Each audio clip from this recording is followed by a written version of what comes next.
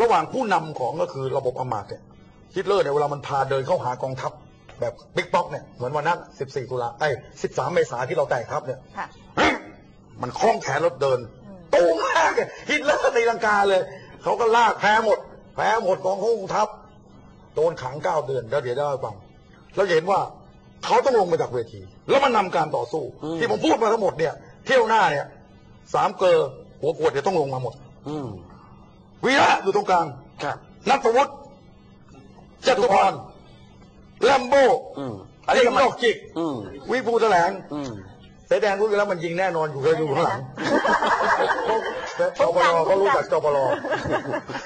มันยิงกระเด็นอยู่แล้วใช่ไหมเดินแบบฮิตเลอร์นำการต่อสู้เราเราจะได้ชนะ แต่ตอนฮิตเลอร์ที่ถูกยิงกระเด็นเนี่ยนะแล้วถูกขังนะรู้ว่ามันพูดยังไงศาลมันนั่งเป็นแถว แต่ศาลนั่นเนี่ยมันศาลเยอรมัน ไม่ใช่ศาลระบบอำมาตย์ฮิตเลอร์มันลุกขึ้นมาบอกว่า มันบอกว่าผิดไหมที่เป็นกบฏเนี่ยมันด่าฮิตเลอร์ฮิตเลอร์บอกว่าผิด แต่กูเป็นกบฏกูเป็นคนออสเตรียเนี่ยกูยังมีความรู้สึกเลยว่า เอ็งนี่ถูกกดขี่คนเยอรมันแล้วมึงเป็นคนเยอรมันไม่รู้สึกเหรอะโอ้โหคนในห้องส่งแบบนี้ตบมือศาลต้องบอกให้หยุด เพราะศาลตัดสินให้มันขังแค่เก้าเดือนแล้วก็จัดห้องให้อย่างดี แล้วพิทเลอร์ก็นำการต่อสู้จนกระทั่งคุมเป็นนายกรัฐมนตรีได้ แล้วก็แอบสร้างอาวุธสงครามก็พาเข้าสงครามโลกครั้งที่สองแต่มันโดนอเมริกาลุงกีโต้มันแพ้อดีว่าไปครับฉะนั้นผมประสบในกี่ประเทศแล้วสามประเทศนะสามประเทศแล้วอ่าสองสามประเทศละแล้วแล้วก็รัสเซียเนี่ยตอนที่ฮิตเลอร์ไอตอนที่มาเซตุงเป็นประเทศได้คณะเอกชนสแตลินเนี่ยซึ่งเป็นคอมมิวนิสต์เนี่ยจับมือคนแรกเลยอืมว่าผมขอรับรองประเทศคุณครับใช่ไหมฉะนั้นพวกเราเนี่ยจะต้องผสมผสานก็คือสามขุนพล ต้องลงมาข้างล่างนำการต่อสู้ครับต้องประกอบด้วยแก้วสามประการพักแนวร่วมของอาวุธซึ่งฮิตเลอร์เนี่ยเขามีกองกำลังติดอาวุธเหมือนกันค่ะ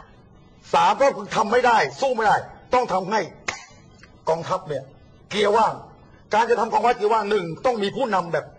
เอ่อนโปเลียนที่ผมเคยพูดไปแล้วครับเราก็เห็นมีพี่จิ๋วคนเดียวฉะนั้นพี่จิ๋วเนี่ยต้องเอามัดไว้เพราะว่าตอนที่แกนำครั้งที่แล้วเนี่ยแกบอกว่ากระสุนนัดแรกต้องโดนหน้าอกแกพ อเขาเริ่มยิงแกไปอยู่นครพนมเข้าใจไหม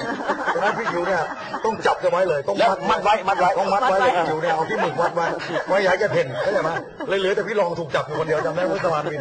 หมาจำลองโดนจับอยู่คนเดียวอ่าพุทธบาลบินเพราะพี่จิ๋วแกไปแล้วอ่ากระสุนนัดแรกต้องโดนอกพี่จิ๋วใช่พอเริ่มยิงปั๊บแกไปคนแรกเลยแกไปก่อนยิงๆกันด้วยใช่ไหมฉะนั้นต้องให้พี่หมึกพลโทพิรัตน์เนี่ยครับพี่ประลบเนี่ย มือซ้ายมือขวาเนี่ยจับพี่จิ๋วไว้ครับอย่ามาให้พี่ประลบจับไว้จับพี่จิ๋วไว้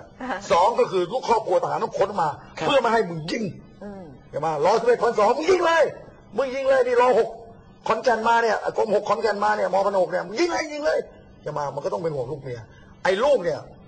ไอ้เมียมันอาจจะให้ยิงทิ้งนะเพราะว่าเขาเบื่อเล็บทนแก่ง่ายตายยากอาฆาตความจำเริญจุกจิกกู้จี้ขี้บน แต่ลูกเนี่ยมันมีสายเลือดของเราครึ่งหนึ่งอ่าแต่เมียเนี่ยเป็นใครไม่รู้แต่เสือกมาเป็นเจ้านายเราในบ้านอ่าแต่ลูกเนี่ยมันมีสายเลือดครึ่งหนึ่งมันอาจจะห่วงลูกไม่ห่วงเมียอ่าจะมาแต่ให้เอามันมาทั้งเมียทั้งลูกอ่าเพราะบางคนมันอาจจะกลัวเมียขึ้นที่ขึ้นหัวก็ได้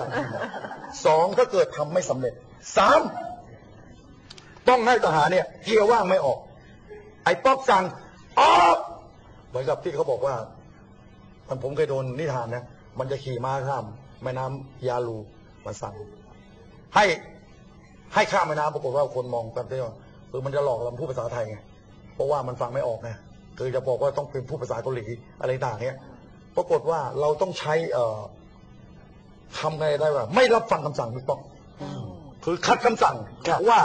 กองทัพเนี่ยแดงหมดปัจจุบันนี้กองทัพแดงไอ้นี่ไม่แดงคือพบเหล่าทัพเท่านั้นเอง แต่มันสั่งแล้วทหารมันเช็นว่าคอมแมนสเปนโอคอนโทรลครับมันต้องออกรบ มันสั่งแล้วมันต้องออกรบ อืม เพราะว่ามันจะขัดคำสั่งไม่ได้ เพราะทหารนี่มีวินัย ทหารที่ไม่มีวินัยที่เห็นทั้งกองทัพขนาดนี้นะครับคนตีขัดย่างคนคือเสแดงเนี่ยเป็นวินัยเขาถึงพักราชการเนี่ยแต่เราแลกกับสิ้นชาติสิ้นแผ่นดินกันครับใช่ไหมอันที่สี่เมื่อทหารออกมา ที่ป๊อกตกใจกลัวเราต้องเพ่นไปที่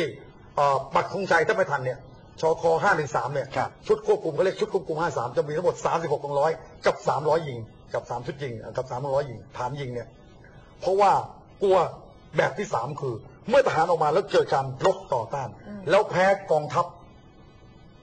ทหารพราน ฉะนั้นเขาถึงเขียนว่าในนี้ครับขออนุญาตใส่แว่นเนี่ยครับว่า รวมทั้งสร้างความหวาดกลัวในหมู่ประชาชน อืม สร้างความแตกแยกในหมู่คณะและสังคมส่วนรวม อันนำความสึกเสียมาสู่สถาบันกองทัพไอ้ แรงเนี่ยอะไรเนี่ยอืมก็คือเขากลัวว่ามันสามารถที่จะนำกองทัพเนี่ยมาลบกับอ่าทหารพรานมาลบกับกองทัพหลักได้ซึ่งอันตรายค่ะครับมันหมายถึงชัยชนะแล้วมันถูกแขวนคออืมชัดเจนครับคุณผู้ชมครับ และนั่นก็คือคมความคิดจากคมเสแดงครับ นี่คือแนวความคิดที่คุณผู้ชม สัมผัสได้ถึงความคมและความลึกของแขกเชิญทรงคุณค่าของเราในค่ำคืนนี้ ที่นี่เอวิหาต้องขอกราบขอบพระคุณครับผู้ทรงคุณวุฒิแห่งกองทัพบกพลตรีดรขัตติยะสวัสดิผลกราบขอบพระคุณครับ ขอบคุณค่ะพี่นงคะรายการที่